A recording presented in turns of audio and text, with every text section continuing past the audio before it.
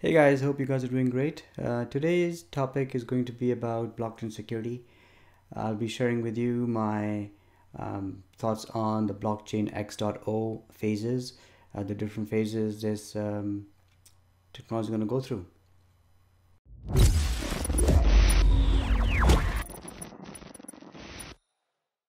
So moving right along, the uh, topics of today's discussion are going to be blockchain background, the use cases, blockchain X.0, smart contract, the weakest link, security considerations. Blockchain has been uh, discussed for for a while now, and in my eyes, there are pretty much three um, deployment types of blockchains: the public, private, and hybrid. And most of the deployments have been on the public side, um, and they are pretty much the Bitcoin, Ethereum, Litecoin, etc.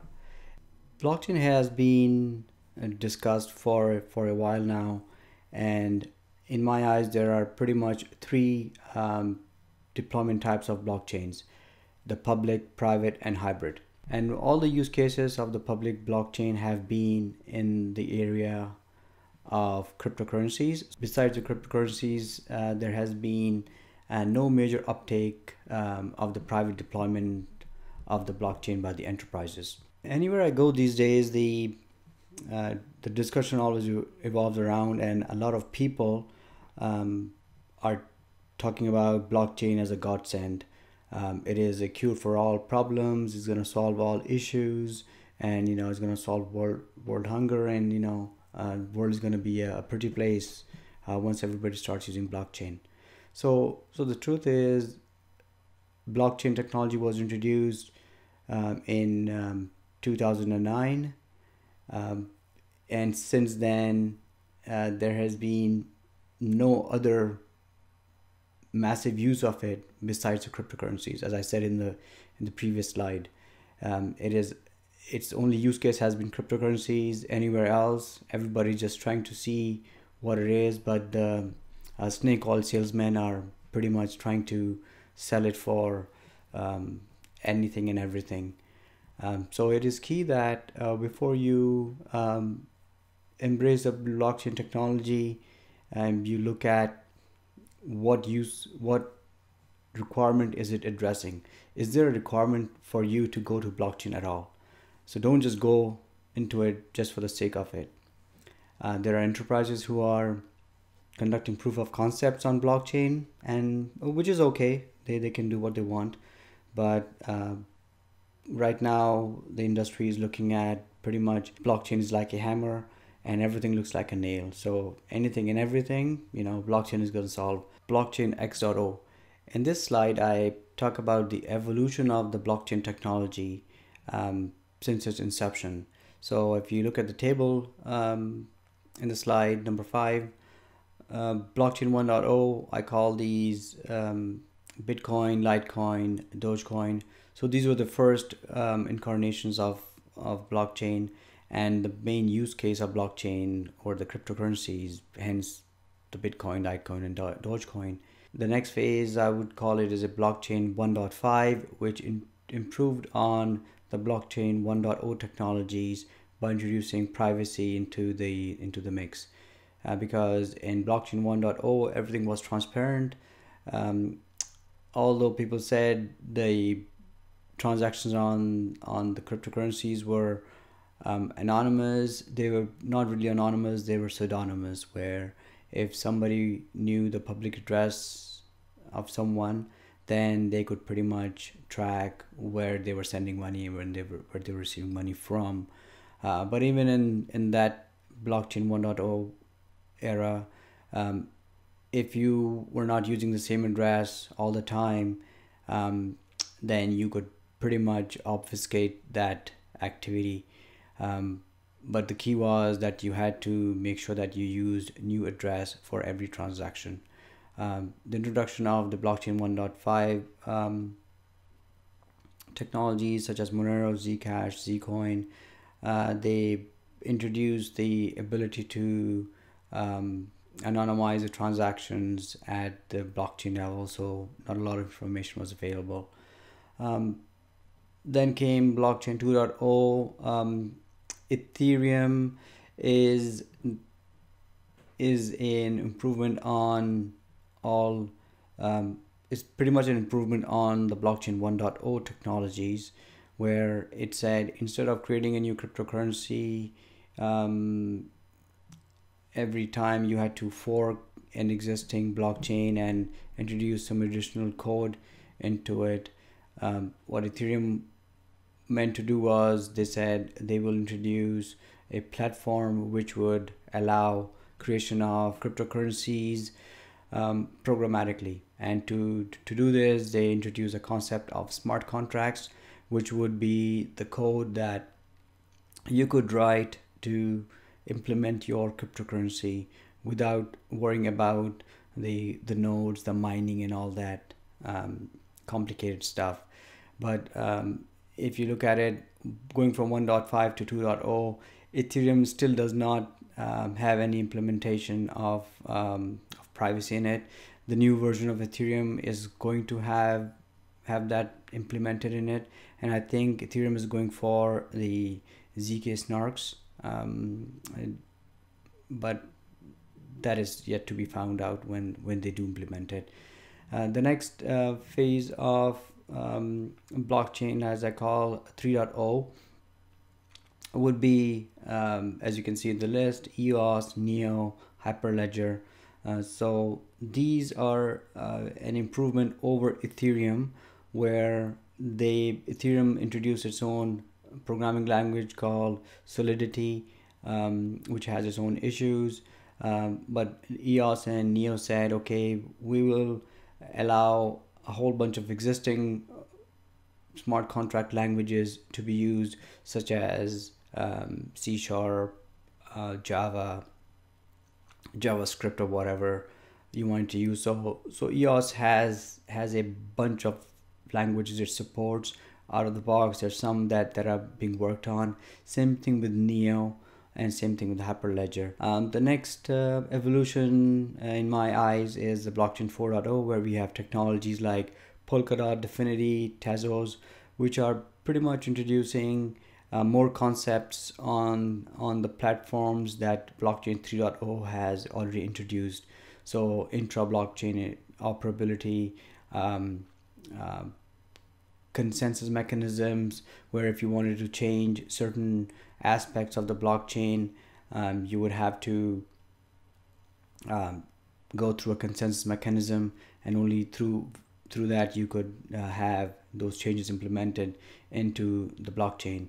Um, one of the key and and when i talk about this i'm talking about tezos which is planning on re- introducing that. Hopefully sometime in summer they should go live um, smart contracts were introduced by ethereum in 2015 this was again as i said in the previous slide the mechanisms for automating and uh, making um, a platform that allowed people to create their own cryptocurrencies uh, with the whole bunch of logic in it but it is not to be construed as a legal contract. The word, the usage of the word smart contract came about when Vitalik Buterin was doing some work on on another uh, fork of a blockchain uh, for a project, and um, they had to write some code for that, and they said we call it a smart contract because it was pretty much automating some activity and hence the name uh, smart contract was coined. And um, and it, it struck that way but what's what's confusing is that people seem to be thinking of a smart contract um, equivalent to a legal contract. No both of these are not equal. Uh, if you went to a lawyer lawyers don't speak smart contract language. They speak their legalese and they will only talk about their stuff and they would not sign off on any smart contracts. Um, so just be beware of that. And and the and coming along to the theme of this show today is security. Um, the fact that you can write a, a a bunch of code to do certain activities for you um, introduces inherent risks because because it is code it is written by human beings uh, there have to be um, sooner or later there, there, there are going to be some bugs in it. And when something has bugs in it those bugs can be exploited by people and bad things will happen. Um, such as the um, DAO hack that happened in 2016 uh, where a, a, a smart contract was um, had some code issues in it and somebody um, found that that hole and they exploited it and they ran away with about 150 million dollars worth of ether. The weakest link in this whole equation so far has been the smart contract which is not really the blockchain itself. Blockchain inherently is very secure. No one has been able to hack it or change it or crack it. So so it, it is it is a secure um, um, technology but what happens is people who are using the blockchain they have their mechanisms to use the blockchain and this mechanism at this point of time uh, because cryptocurrencies are prevalent right now is the wallet. Uh, and when you are uh, writing stuff to the blockchain um, blockchain says you have to um, make sure that there's a private key and a, and a public key exchanged um, and you as a wallet owner should have the private key and public key you can give to anybody else. But if the um, wallet owner as such does not protect the private key or the secret to the private key um, then they might be um, susceptible to phishing attacks. So all the all the hacks all the losses that have been incurred so far have been due to the fact that the the wallet mechanisms are pretty complicated and people forget their keys people lose their keys and and uh, people don't protect the keys um, uh, intelligently and that's what makes them lose their their cryptocurrencies um, but in a real use case what one has to look for um, in a blockchain from security perspective are some of the things that um, that any security practitioner would be looking at in any kind of a deployment. So as the black blockchain uh, platforms get more complex, um, the threat vectors also increase exponentially. So we need to focus on on these areas as I've listed below. Um, uh, cryptography, uh, cryptography is the key. Um, the consensus algorithms, the identity, authentication, authorization, code development practices, data integrity, encryption mechanisms, incident response. So coming to key management, um, as I said before, your wallet, when you're using your wallet, your keys are very important. So you have to protect your private keys. Um, the other piece is when you are creating um, the blockchain itself, there's a key ceremony required for that to uh, generate keys um, for the blockchain itself. And if, if that mechanism is weak, then you're going to have issues. Um, what kind of encryption are you using in, in, in the in the in the blockchain? Um, that is key as well what kind of hashing functions you are using in it. And all this is tied up um, together in a nice package via the consensus algorithm. So if the consensus algorithm has flaws in it, then everything else is going to get messed up as well. So so you have to make sure the consensus algorithm that you you you select uh, you do your due diligence in selecting the consensus algorithm and um, and its implementation um, so again, consensus consensus algorithm in its own right is a piece of code which needs um, secure development practices such as you know code review, code testing, um, black box testing, white box testing, all kinds of stuff that that goes up with any code. So you have to make sure that you have that um, bulletproofed. Uh, the next piece is identity as the um, blockchain platforms advance and they become more complicated.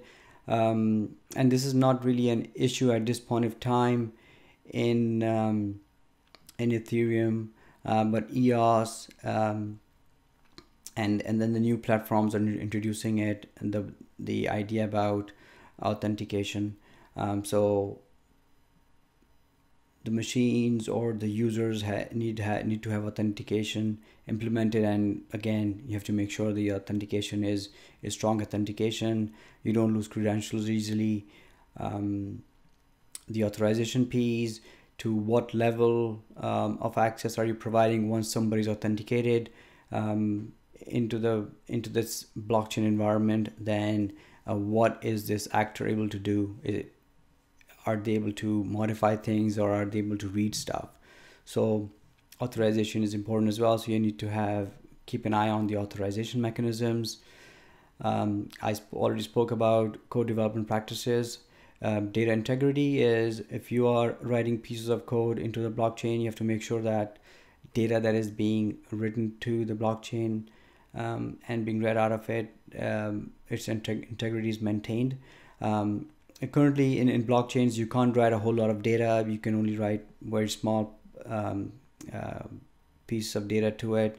Um, but it is it is a repository where you can make references to to data in other repositories. So so that's that's one um, area you need to look at.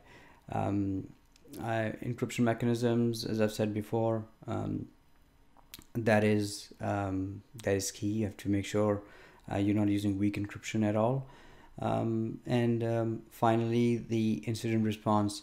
So whatever infrastructure you deploy for your blockchain that is if you do use blockchain for your organization you have to make sure that you take you have documented processes for incident response and monitoring for incidents. Um, so the whole infrastructure that this blockchain is going to be sitting on make sure you have the proper monitoring in place. Uh, you have documented procedures for responding to incidents. You have um, intrusion detection intrusion prevention mechanisms. So as you can see um, the blockchain is no different from deploying any uh, software um, in your or any platform in your environment. Um, as long as your requirements um, are clear you understand what what your needs are what you're going to be implementing it for then um, use those same delivery methodologies uh, the fact that you are deploying blockchain shouldn't really um, change anything for you um, if you have strong security practices being practiced in your organization then um, looking at blockchain, deploying a blockchain technology should not be rocket science. It should be just following the regular project delivery methodology, taking care of the regular security requirements. Hey everybody, uh, hope you found uh, the information I shared with you uh, today uh, to be useful. Um, uh, please like, subscribe, and share uh, the content in your social circles. Um, if you want to contact me, my contact details are on my website, uh, the address is also at the bottom left hand corner of, of this, the slide deck.